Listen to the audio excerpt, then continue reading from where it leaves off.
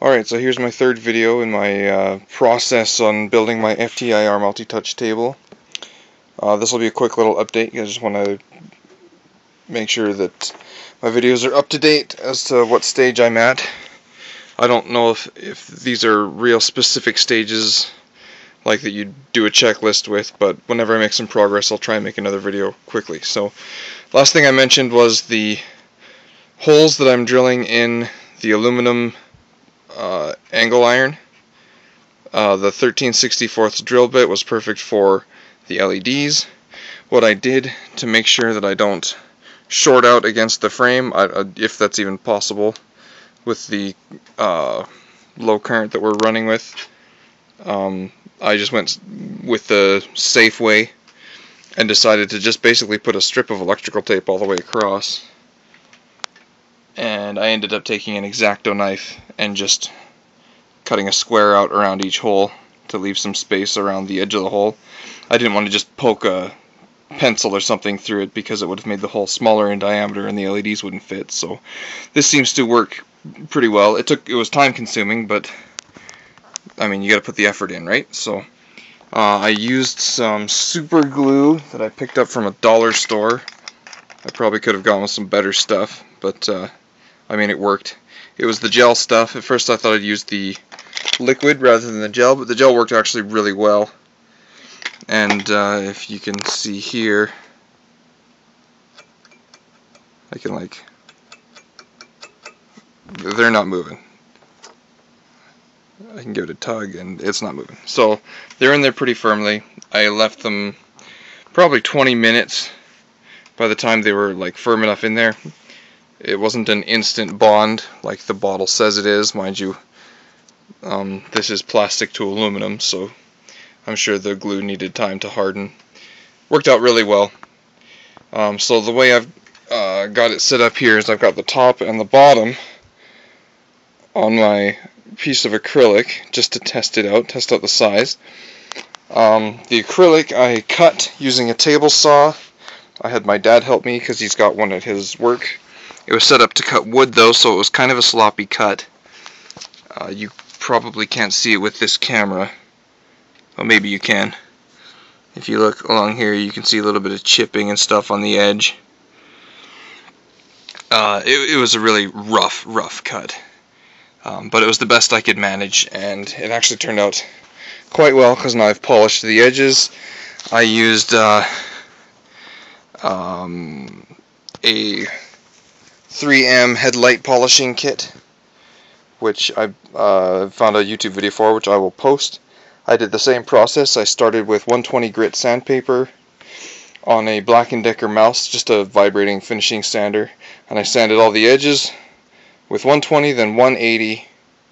Then I went to the 3M polishing kit and used my Black & Decker drill. Um, went from I found that the 500 grit didn't do anything different, so I went straight to 800, and then the 3000 grit sanding sponge thing, and then with the polishing compound. I kind of goofed up, um, because when I opened the package, some of the contents fell out, and I didn't notice it, but it came. It comes with two uh, compounds for you to use to buff it with. There's like a waxing compound for protection and a rubbing compound, which is what you would want to use for something like polishing an edge of acrylic. Well, I accidentally used the, the polishing waxing compound instead of the rubbing compound because um, I didn't I couldn't find the rubbing compound because it fell out. I thought it didn't come with one, but um, the results are quite satisfactory. I think it will work just fine. I, I've looked at videos where people are showing their polished edge and pictures and stuff like that on the wiki, and it's kind of difficult to tell just how shiny things are, but this is it's it's quite good, I think. Even if I waxed it instead of polished it, I think it will perform really well. If I get this all together and it looks like it's not going to be good enough, then I guess I'll just restart it around the 800 grit side of things and uh, repolish it with the rubbing compound instead. But I think it'll work pretty good. Uh, and then all I've got to do now is the same thing on the sides. I plan to just cut this to length and drill the holes the same. I've got these uh, foam spacers in here. I think they're for like table legs and stuff like that. I bought them at Canadian Tire um, just so I can push the acrylic up a bit. My my L brackets are three quarters of an inch tall, so I wanted to have them a little closer to the top. Plus, now it raised it right in line with my LEDs.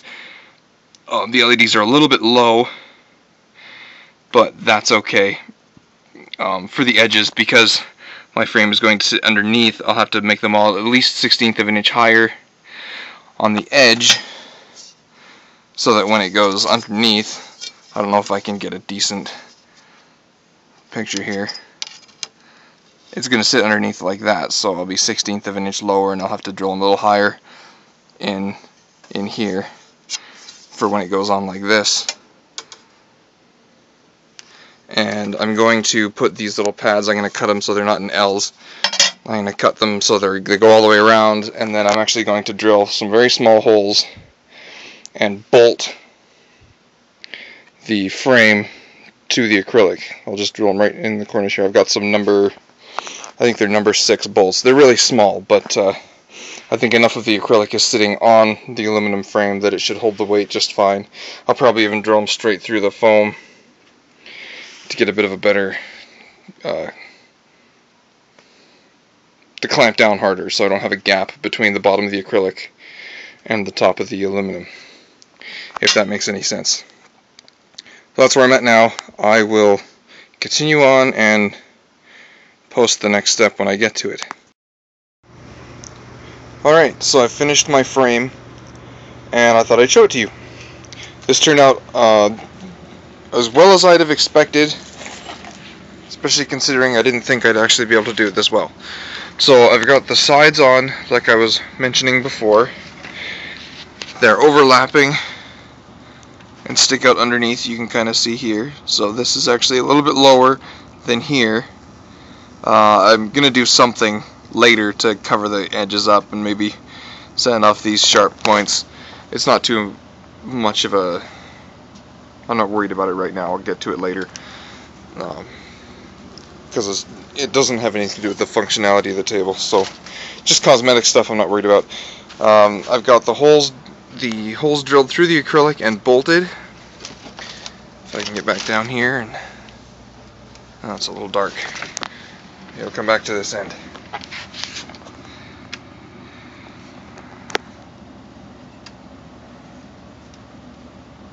you can see the bolts are sticking through um, I believe like I said before I think they're number six size uh, bolts they came with a nut and I just bought some washers to go with them. So I've got the bolt washer on top. It goes down through the acrylic through the foam through the aluminum.